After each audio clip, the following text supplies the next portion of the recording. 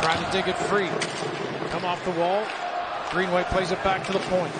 This is Rasmus Dahlin at the left point.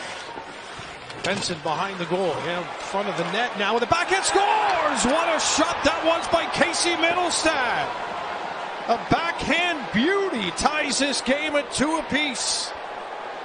Right when he first gets the opportunity, bad, bad puck control down low by the Islanders here. It's going to pop out. And Casey gets this. He takes the look, and then you see him just kind of reach out because he wanted to get this puck up and get it to the far side. And it's great awareness. He takes the quick look. He sees where the goaltender is and then reaches out